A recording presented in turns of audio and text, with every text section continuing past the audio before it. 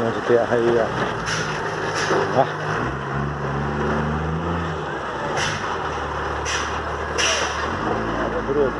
Só sem caminhão de terra aqui de manhã, ó. É isso aí, galera. Estamos aí fazendo limpeza no lote, tá? Tirando a terra pra gente começar a fazer a nossa base das nossas sete casas geminadas aqui no Eldorado, tá? Que a gente não perde tempo não, tá? Já foi dois caminhões, já foi um grandão, um caçambão, né? E um caminhão toco. Tá vendo que lindo? Ficou lindo agora. O solzinho tá nascendo aí, ó. É isso aí, galera. Fique na paz, curta esse vídeo.